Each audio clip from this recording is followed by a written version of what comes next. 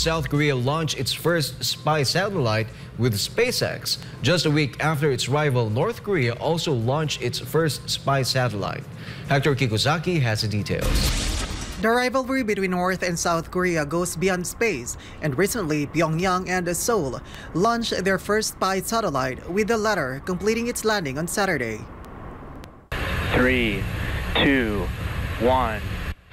A SpaceX rocket launched South Korea's first military spy satellite, the Reconnaissance satellite.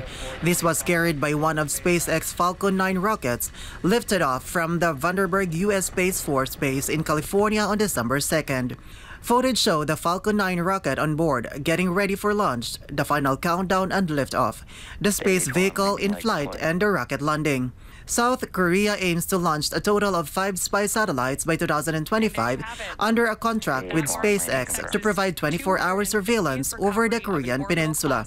The move comes after North Korea successfully launched its own military reconnaissance satellite named Malligyong-1 last week, sparkling condemnation from South Korea, the US, and others. Earlier this week, North Korea claimed that its leader Kim Jong-un received imaginary from the newly launched satellite, showing the White House, the Pentagon, U.S. aircraft carriers, and a Navy base in Virginia.